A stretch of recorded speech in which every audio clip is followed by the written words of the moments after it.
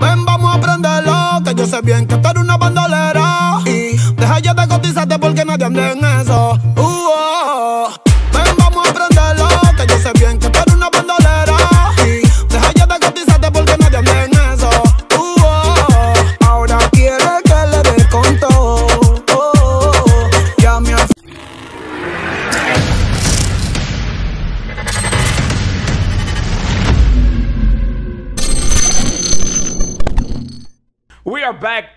I go by the name of Annickles Party, girlfriend's trending topic. My real name is Jorge Ruiz, but nobody calls me that. Anyways, we're here unplugged, and I have the pleasure to present you another great artist and one of my fraternity brother himself. Eh, actually, it's se llama Wilfredo Luis Leguizamón. Oye, pero es un nombre, es un nombre. Wilfredo Leguizamón, but known as Yaciel Faraón, but now it's El Faro, right? El Faraón. King Fara. King Faro, King Faro. Wh- King Fara. Okay, but why not King Faraón? What was, where's the switch? Where do you go from Yaciel Faraón? Eh, porque empezó cuando yo fue, me, me empecé, me empecé a llamar Yacel Faraón. Mi nombre siempre ha sido Jaciel. Ok. Yo no sabía que Wilfredo era mi nombre hasta que empecé la escuela. Okay. Entonces, mi familia... no, de verdad, de verdad. Entonces, yo empecé la escuela y me dijeron que mi nombre era Wilfredo. Y yo dije, no, ese no es mi nombre. ¿Tú me entiendes? Y ahí fue que yo supe. For real? Yeah, that's, my- that's for real. I didn't know my name was Wilfredo until I was six years old. That is crazy. Entonces, de ahí yo me puse faraón porque siempre estaba obsesionado como con Egipto y los reyes y, los, y, y el oro y toda esa vaina, ¿tú sabes? Entonces la gente me empezó a decir fara. Por, en vez de decir faraón, yo Fa- fara, oh, fara. Fara, fara, fara. Entonces, um, you know, I always kind of just call, I, I always think I'm a king in my head, so, you know, King Fara. King came King up. Fara. It's kind of like uh, como una vaina, como tú sabes, como Eminem tiene Eminem, Slim Shady. Yeah. También se nota en la forma de rapear mucho, ¿me entiendes? Okay. A veces como que yo me meto en un mundo. See, and It's and and, Fara, and, and it's funny. It's funny that you bring that up because um I was listening to your music on um Spotify, and um, el you you you you have the ability to kind of you know switch from a from a hook that's um un poquito más me, eh, m- mel- melódico, and then you go to your verse, and then your verse is like is like a, you know it's like a different person, you know, where you're can you're you're you know you're spitting bar after bar after bar after bar, and then you then you go back to the kind of these melodies and whatnot. Pero antes que lleguemos a lo de artista, mencioné que tú eras parte de una fraternidad. Eh, yo quiero que tú me expliques esta foto que pasó aquí. ¿Qué, qué, qué, qué es esto? ¿Quiénes son estos? What is- what's going on here? First of all, R.I.P. to my brother right there, Wangi. But that's my chapter, bro. Tao chapter, Spring 09, Amsterdam 5, Central Connecticut State University. That's kind of who I became, like, who I became. Like, What do you mean by that? Tú sabes que uno, yo me crié sin papá. Okay. Entonces yo era Rolai. Entonces estos tigres como que you got you got you got a lot of these brothers who are family men, educated, you know what I'm saying? So I kind of started taking that route because I they started kind of I started looking at them and I'm like, damn, you know, I could be a good dude. I don't have to be a dirtbag, you know, like I was seen in the hood, you know, and there's some dirtbags in there, but That's part of it. That's part of the family parson, right? family, yeah, yeah. Perfect. Um, you know, uh, you know, and and I, you know, I pretend not to know these questions just so I could get to talking, but not. But you know, I think you know, being part of the fraternity kind of just brings a different part of you.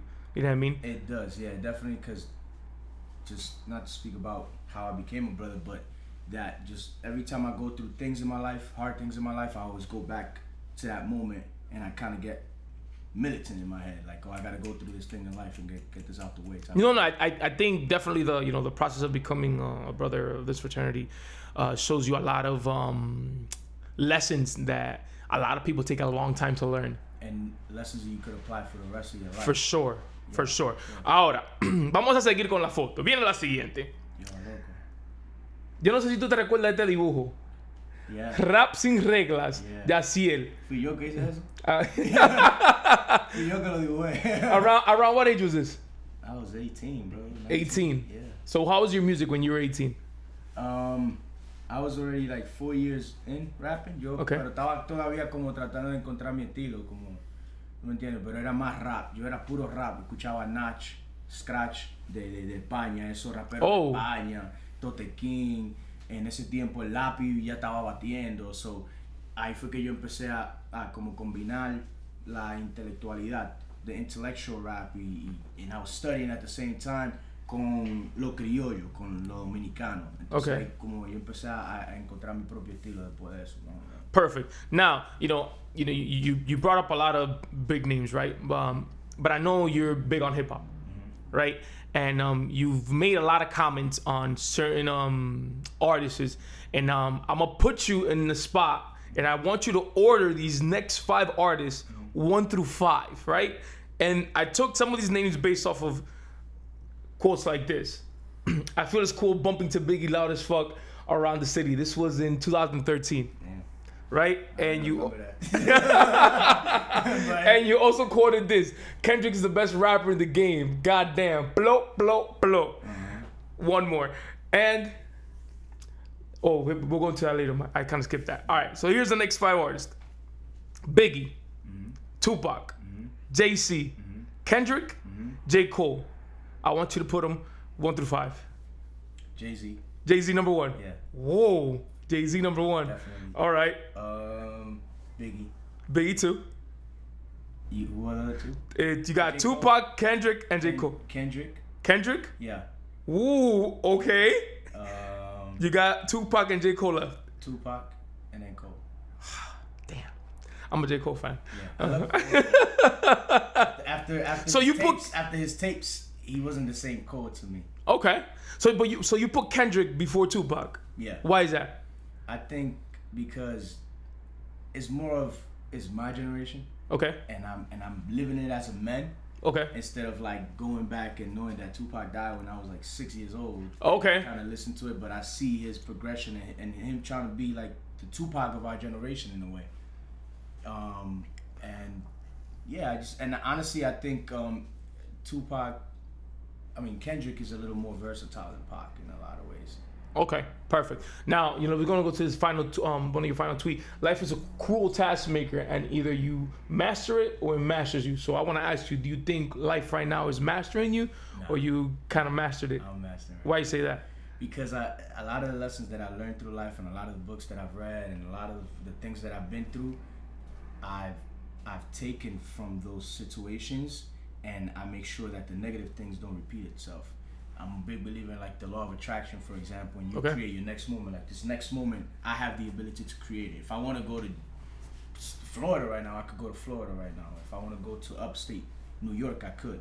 And just that simplicity in life of make, making those simple choices that taught me that I could also make those choices for my career, my everything in life. Like just the next step in my life, I have the control of it. So um, it's like uh, your mind is is you're either the master of the mind or the mind masters you. And I feel like a lot of people they they get lost uh, in the thoughts that come into their head and they don't know how to control it. And those thoughts make them take action. And I've I've gotten to the point in my life where I know how to just observe my thoughts and not take erradical But how do you how do you know how do you how do you get to a point where you when you have that ability meditation. to to have um uh the I guess you know the, I guess the I guess the mental strength you know to not allow your thoughts to become actions instantly and just kind of it's a daily it's a daily thing but it's something that I practice. I like um I'm into theology a lot. What's that?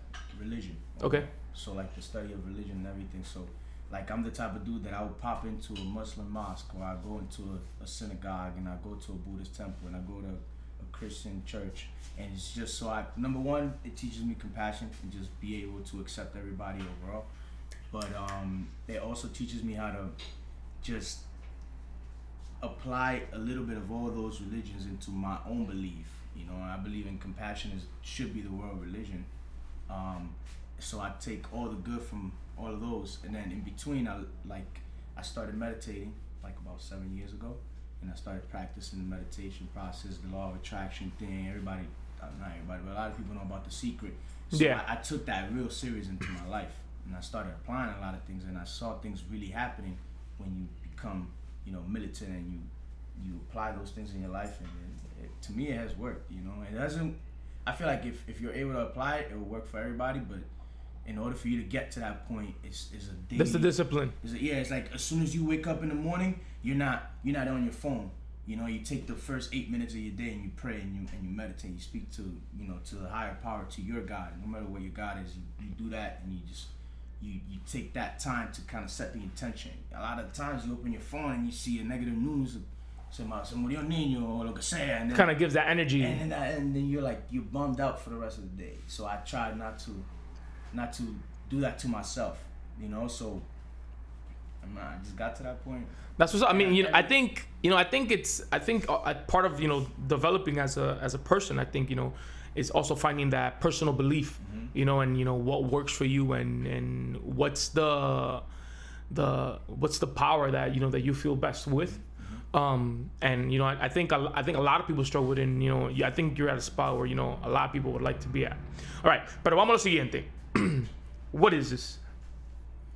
That was my first tape. Ese es mi primer mixtape que lo hice en, en un cuartico que yo tenía en la casa de mi mamá. Y yo mismo lo, lo produje, yo mismo hice todo y compré como, como 100 CD. Inscribiste cada uno. cada uno, cada uno, se lo regalaba a la gente, se lo regalaba a los tigres. Entonces después, en ese tiempo, estaba empezando la transición de todo irse digital. Yeah. So I, I put everything up on YouTube. Entonces, ese era como una, yo, esta vaina está aquí, and then I'll put it with the link. Oh, cool. Yeah, Dope, dope. Ahora, I know right after that, like in 2014, you dropped the Mi- Inmigrante mixtape, right? Mm-hmm. How was that? What, what, what, what- why Inmigrante? Why'd you give that that title? Soy un inmigrante, loco. Yo vine aquí a los 6 años de Santo Domingo. So, um, yo creo que es un tópico que todo el mundo, as a Spanish person, as a lot of minorities, and even, even Anglo-Saxons que, que son inmigrantes, they have to go through that struggle. So, yo vi a mi familia struggle through that, you know what I'm saying? And I recognize who I am. And, and I'm a first generation immigrant. And um, it's just like just trying to make it in this world. Y it, a lot of the stuff that I spoke about in that tape hablaba de eso. Tú entiendes como tú encontrándote a ti mismo en, en un lugar que es completamente diferente. Yo vine aquí como chamaquito, pero yo no aprendí inglés hasta los 8 años. So, yo me recuerdo cuando yo tenía que pelear con un par de chamaquitos porque se reían de mí porque no sabía decir una palabra o lo que sea. So that always stuck with me. And I always, I always think you just gotta remind yourself where you come from in order to become who you want to become. So. Perfect. Now, I know you spoke, um, spoke about being in Santo Domingo, and Santo Domingo right now has this um, genre that is exploding them both. You know, um, what are your what are your thoughts on the genre as a as a whole, and um, where's it going? I love it. I love it. I think it's I I pray for it to become the number one genre in the world, and I think I'm proud. As Dominican, I'm proud porque en el movimiento dominicano empezó con, con Lápiz Consciente y ese movimiento, uh, Toxicrow, Joa, Vaquero, Punto Rojo. toda esa gente. Entonces, yo he, yo he estudiado la evolución y he crecido a través de esa evolución como, como persona, como hombre, como músico, como, como todo, viendo cómo el movimiento está tratando de llegar al nivel de internacionalizarse. ¿Entiendes? Y yo creo que ahora por fin la República Dominicana encontró los colores que se necesitan para llegar al público de afuera. Porque ahora tú ves que la, gente en, la gente en México lo está copiando, la gente en Colombia, aquí en Estados Unidos. Tú ves los tigres en Santo Domingo que ahora están con carro duro. y no, so, eso es bueno, loco. El progreso siempre es bueno. Y si y con tu gente, tu misma gente, you want to see that, you know? You want to see that. growth. Now, so here's my thing, right? I, I agree with you. I think El Dembow, you know, it's it's it's I, I love it, right? Um, but I'm gonna I'm gonna put on the on the I'm gonna put myself in the position of those who are kind of the contrary of it, right? And el vocabulario que usan, el you know, um, el mensaje que muchas de estas canciones muy ¿Cómo tú como dominicano puedes defenderla? Yo digo que eso es igual como, es un proceso. So, muchos de los muchachos que se están pegando son del grajo, como que dicen, de los barrios, así. Y ellos hablan lo que ven, ¿entiendes? Eso es algo cultural, en general. What it is. Santo Domingo es un grajo, grajo, grajo, grajo, que es lo bajo mundo. Entonces, es el mismo concepto del reggaetón cuando empezó. Si tú escuchas la maldita puta, Maldita bella, Eh, te paro que los días. no, ya, ya, ya. Oh, you can curse. Tú puedes lo que tu maldita gana aquí, Yeah, olvídate del mundo. Tú sabes, entonces empezó la evolución y, y tuve la evolución, el mismo Daddy Yankee. um, todo eso cambió y yo creo que siempre en el principio va a haber crítica. Cuando, Y especialmente cuando empieza a funcionar la cosa, siempre va a haber crítica. Siempre, los viejos de antes no querían saber de reggaetón y ahora el Yeah. reggaetón es number one. You know what I'm saying? Casi mente todos los viejos están escuchando y conocen a estos artistas y lo alaban como que si fueran José José. ¿Me entiendes? So, es, es parte del proceso, man. Yo digo que, que tienen que darle tiempo. No, toda la, no todos los dembos son sucios. Hay muchos que sí, los que más se pegan. Yo, me, yo, me pide leche is by like by far. I, I hated it the first time I heard it, but it's catchy as fuck. It is catchy. All right. Um, now, October 9th, 2016, your daughter was born. Yeah. How does Damn. how does that change you as an artist? Oh, my hustle went to 100, bro. Like, yo no, yo, ahí yo, yo, yo no jangueaba con nadie. Yo era yo solo, like, y mi, mi familia.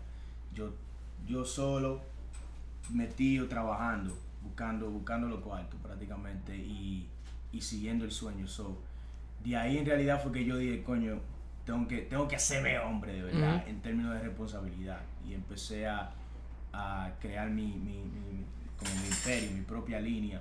Am, yo estaba trabajando en aquel entonces vendiendo carros y después de ahí estaba trabajando con un tío mío que tiene una compañía de, de soldadura Okay. y me di cuenta que no me gusta trabajar para nadie y Somos dos. Ah, y más por el tiempo que no podía pasar con mi hija y todo eso, entonces de ahí yo empecé a buscar avenidas para poder salir, pero definitivamente hay tipos que no que eso no le hacen nada, pero a mí me cambió mucho porque yo sé que tenía una chamaquita que... No, y, y me trae, subiste un punto, el de, el de no tener suficientemente tiempo para dedicarle a tu hija. Like, que, you know, no, ¿cómo te, ¿cómo te afecta a ti como persona, pero también cómo te afecta a ti como padre el, el no poder dedicarse tiempo, pero al mismo tiempo quererle dedicar eh, el tiempo a, a la obra que tú quieres lograr? A mí, yo, ahora mismo, eso fue, es un dilema que yo estoy lidiando, porque estando en Santo Domingo y todo eso, estoy lejos de, de mi hija, ¿me Yeah. entiendes? Pero yo creo que la forma que yo he podido lidiar con eso es con el pensamiento de, ella está chiquita ahora, ¿tú me entiendes? Tiene tres años, si yo sigo haciendo lo que estoy haciendo y llego a un punto en mi carrera que ya yo pueda, que ella tenga seis años, todavía es una edad suficientemente joven donde yo pueda ayudarla a ella, a que help her mold Ok. and become the woman that you know she needs to become. So eso es lo que me ha ayudado a mí en, en yo poder decir tengo que hacer esto. Encima de eso, yo no quiero que mi hija cuando yo tenga 18 años yo no pueda comprarle un carro o algo. Okay. I I, to- I- I wanted to have a broke ass dad, nigga. So- I totally agree with you. Now, um, háblame de Joven y Salvaje, 57 Cage, and this was 2018. Um, háblame de ese, de ese disco. Ese disco es algo interesante. Eh, yo fui para Santo Domingo el 14 de abril del 2018, que mi abuela se murió el 13. Entonces yo fui para allá y estábamos, estábamos, tú sabes, grieving as a family. La abuela mía era mía, la Yeah. mía. Ya tú sabes, that was my nigga. It- y um, pasamos por todo el proceso, you know, we did a, you know, a Los grieving. nueve días, Yeah, el velorio. Ya después de que la enterramos y todo eso, yo tenía, yo me iba a quedar una semana más. Y naturalmente, de una forma que yo lidio con dolor y todo eso en música, so, yo le dije al primo mío, yo, consígueme un estudio y una vez, loco, y compré un Brugal, me monté un motor, y yo Ya. Ya, Brugal y un motor, olvídate del mundo. en el estudio y yo grabé eso ahí con Manny Jai, que eh, él es el road manager de, de Tali. Ok. So, y, y trabaja con Georgia Music y toda esa gente, el tipo es durísimo. Y estábamos ahí, y ahí fue que yo empecé a ver los colores de, de Santo Domingo y la calidad de la música en Ok. República Dominicana, porque un chamaquito con una computadorcita ahí, chiquitica, y salió la calidad que salió. Entonces ellos me dieron una, como una base, que no era la pista que es, me dieron una base. Entonces, um, estaba yo ahí y, y hablé con Marillá y sentíamos todo. Empecé a rapear. Yo ni me recuerdo, loco. Yo nada más sé que estaba rapeando. Y después cuando volví al otro día, ellos me dijeron, mira, tenemos esto. Y ahí le empezaron a meter bajo y todo eso. Y yo dije, damn, man, yo fui. Eso fue lo que yo hice. Damn, I did that. y salió eso. Y ahí estaba un pana que, um, Roger 27, él hizo un tema ahora con el Meloso. Está subiendo ahora mismo durísimo en Dembow. Pana mío, él estaba ahí. No, no, ya yo había hecho mi parte. Yo regresé al otro día a terminar el tema. ¿Qué sucede? Que Roger estaba ahí, lo escuchó y él empezó como a rapear entre medio. No, o sea, loco, esa vaina está durísima. Y dice, ¿qué es lo que? es?" Y yo, Vamos a "Monta- hacerlo". Móntate ahí. Se montó ahí. Entonces hablé con Manny ya y seteamos todo lo del video y fuimos para el barrio mío a grabarlo. Dope, dope, dope. Now, um, you meet Osuna. How was that a moment? How was that experience? That was dope, bro. It's eh, it made it, it kinda me enseñó en realidad donde uh, lo que lo que es el trabajo. Ese pana, lo que estaba ahí era le hacía una pregunta y estaba en el teléfono así, miraba, sí, sí, contestaba la pregunta y Back at it. trabajando. Entonces yo dije, "Damn, eso se llama disciplina. Um, but yeah, it was dope. It was it was a dope experience. I just felt like, you know, I'm gonna be right there next time. All right, so now talking about Osuna, right? You know, I think uh, there, you know, it's a genre, and um, I have my own goat. I like to say I have my own goat, right? But talk to me. Um, who's the best artist, or who's the better artist in your opinion? Osuna, Bad Bunny, or Anuel? Osuna. What? Osuna? Explain to me why. Okay, mira, mira. Explain to me why. Explain to me why. Osuna como artista, Osuna como artista es mil veces mejor. ¿Por qué? Porque él tiene la capacidad de cantar y de componer temas ya más para las mujeres. Desde un principio. Okay. Viste cómo él se montó en Bajé con Trenza y como él destrozó esa pista también, Bajé con Trenza. Hey, hey, Bajé con Trenza, destrozó esa pista. Yo creo que en versatilidad él es, él es mucho más grande en número también. Um, so, Uh, I'm gonna, grande. I'm gonna have to challenge that one. I'm gonna have to challenge that one. Déjame terminar. dale, dale, dale, dale. Déjame terminar. Yo creo que en, en creatividad y en traer algo completamente nuevo, porque Osuna es como más tradicional, reggaetón y más música, ¿tú me entiendes? Ok. Entonces, más como para, en lo que era, Bad Bunny se lleva eso, porque Ok. él, él- él- él- es un, un pana raro que, viste cómo él hizo, eh, eh, ¿cómo que se llama? Soy el Diablo. Yeah. Eh, El, el, el, ¿cómo se llama eso? Eh, the Mexican song, que hizo como mexicano. Um, uh, I know. I, ranchera. yeah, I know you're talking about. I know you're talking about. Entonces, los otros dos artistas mm, no se han atrevido a hacer algo así. ¿Tú me entiendes? So, yo creo que eso, en, en, en, en ese aspecto, Bad Bunny todavía tiene la capacidad de, de So. I don't know. So, esto, esto es lo mío con Bad Bunny, right? Ah, Yo creo que Bad Bunny trae un elemento eh, que, que los, los otros dos artistas no pueden traer, right? Eh, creo que cuando se vienen al, al público femenino, Osuna le gana a Bad Bunny, pero no es que la diferencia es tan grande. Ahora, cuando se viene a número, I'm not sure if Osuna can compete with Bad Bunny. Pero Osuna, eh, si no ha cambiado, Osuna es el tipo que tiene más videos en YouTube con billones de views. That okay? billions. Yes, that is true. Le that is pasó- true. le that is pasó- true. Pasó a ah, Um, Justin Bieber. Justin Bieber. Yes, that is Yeah, true. that's- That's true. for the culture, pero hmm. yeah, bro. Ah. And he just got a hundred million dollar deal with Sony.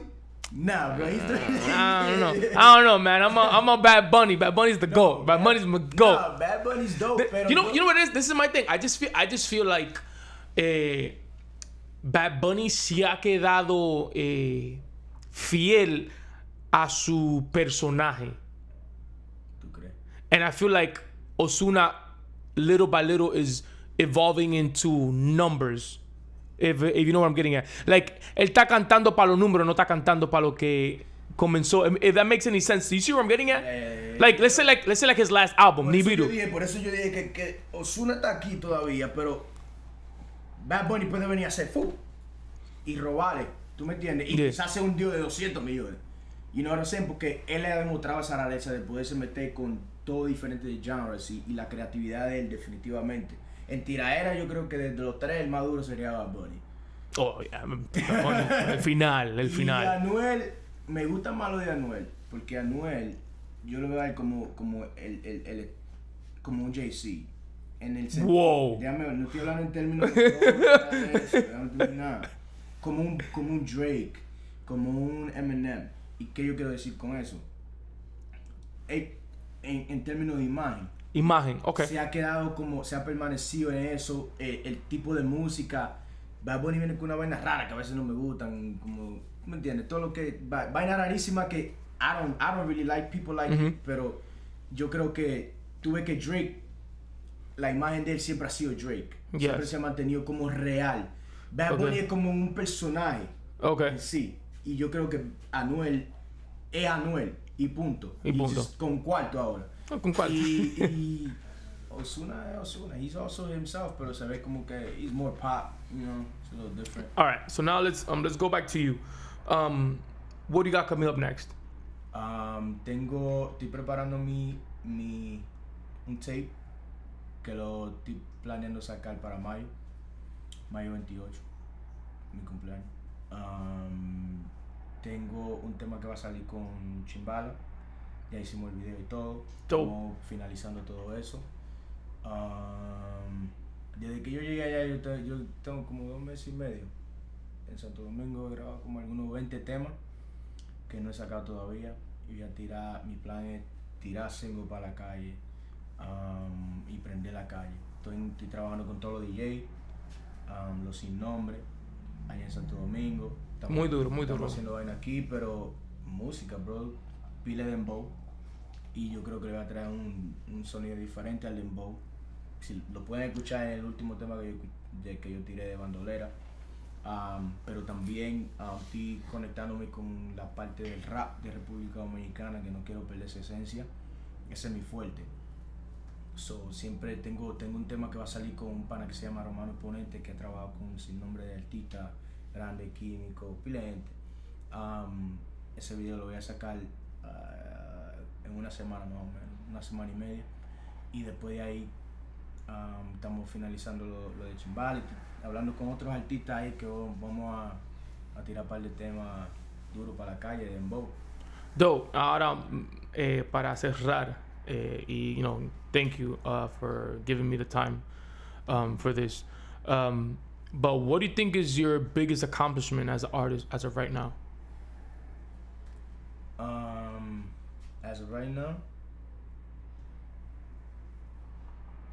it has nothing to do with, with what I'm doing right now. It was actually cuando yo fui para, um, yo tuve una competencia de, de rap Okay. en Nueva York, en el Bronx, en el 2012. Y ahí eh, yo fui, Eric. Yo, B? my, my, yeah, my LB, me dice, loco, hay una competencia, métete para allá. Y yo vengo y digo, está todo, vamos, méteme ahí, va, va. Vamos a hacerlo. Yo tenía mi jevita, y le digo yo, busco una jevita para Eric. El 2 para 2, rápido. Nos fuimos para allá, y cuando yo llego ahí, veo que nada más son morenos. Mm, oh, God. Yo, pero es una competencia de... Y yo rapeo en español, ¿qué yo estoy haciendo aquí? Loco, vámonos. Me dice él, no, no, no, no, no. Tú estás aquí. Ya tú estás aquí. Va- ah, vamos a hacerlo. Cuando voy me doy cuenta que la única gente que habla en español somos nosotros. y, y una de las juezas. Entonces yo dije, bueno, vamos a darle. Wow. Tiré mi primer tema y todo el mundo se, everybody went crazy. And nadie hablaba español. The crowd didn't speak Spanish. Was- todo era moreno y árabe, un par de árabes. Um, y de, estábamos esperando quién iba para el, para el próximo round. Ajá. Y el primero que cogieron fue a mí. And I Uh-huh. was like, oh shit. Oh, shit, I'm I'm on to the next round. Yeah, yeah. I, was, ahí I felt confident, ya tú sabes. Ya, y después fuimos para el segundo round. Habían tres, eh, cinco personas. Ya para el próximo. El primer round yo creo que eran como 15. Mhm. El segundo round eran cinco. Y gané el primer lugar. Y yo me quedé así, like, wow. Ahí fue que yo dije, coño, pues yo puedo hacer esta vaina de verdad. De verdad, de verdad, yeah. Gané el primer lugar, and I, I won a trip to, to Palestine. And Oh, dope. yeah. So, Shit, I want to win a trip to Palestine. What the so fuck? to me, that's always, that's always been one of the highlights. Porque fui para allá, and I, I, I toured all over Palestine, performing and everything. Oh, So- that's fire. so just the fact that I was there, I was a Spanish rapper, and the crowd was just all English, and everybody else was rapping in English. I was the only Spanish rapper, and just being able to win first, it, it I, to me, there's always gonna be a highlight, always, you know, because it taught me a lot, and it, it gave me a lot of confidence. Dope, dope, dope. Um, I think uh, is anything else? Well, well, where can we find you? Where you know where can uh where can we hear your music? Uh, Instagram King Fada, YouTube King Fada. Um, no, look at me for Facebook. That's private.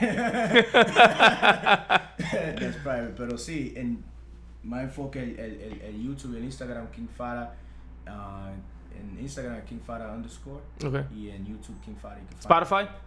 Que, uh, en Spotify está así el faraón, pero todo eso se va a cambiar a King Fada, todo eso. Okay. you know, so, Perfect. Um, bueno, mi gente, this was plugged, and you are now plugged in with King Farah.